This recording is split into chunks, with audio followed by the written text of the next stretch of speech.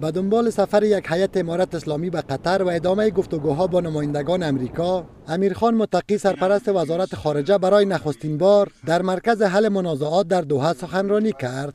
وی از برایند گفتگوها با امریکا خوشبین است و میگوید که با عملی شدن تمامی موارد توافقنامه دوحه چالش ها روی روابط کابل واشنگتن حل خواهد شد مرد روز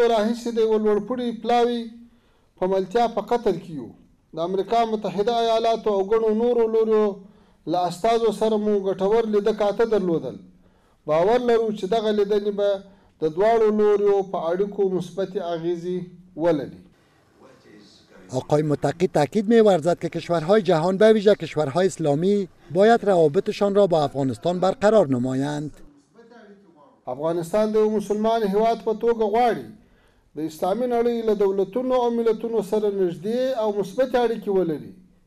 افغانستان د اسلامي نړۍ د وجود یوه مهمه برخه ده.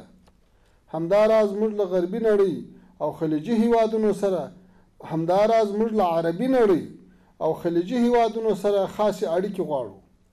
افغانستان نه غواړي چې په بهرنیو منازعو کې منازعو کې دخیل وي بلکې موږ ټولو لورو ته مثبتې اړیکې غواړو در همین حال هیئت امارت اسلامی در ادامه سفرشان به قطر مذاکرات با نمایندگان اتحادیه اروپا را آغاز کردند همزمان با این مقام های قطری بر روی طرز گفتند که در حال حاضر به رسمیت شناختن امارت اسلامی روی میز نیست و جهان به دنبال راه های تعامل با حکومت جدید در افغانستان است زوم د افغانستان په کومه برخه کې که غريبي وي، که دربدري وي، که اور بل وي، څوک دې ورباندې سګريټ نه لګوي، د مړ کېدو کوشش دې وکړي. د زور اپشنونه، د فشار اپشنونه دا ټول وکارول شو، نتيجه يې ورنه کړه. راسئ چې اوس د مفاهمې او د مذاکرې او د تفاهم له اپشنونو نه کار واخلو.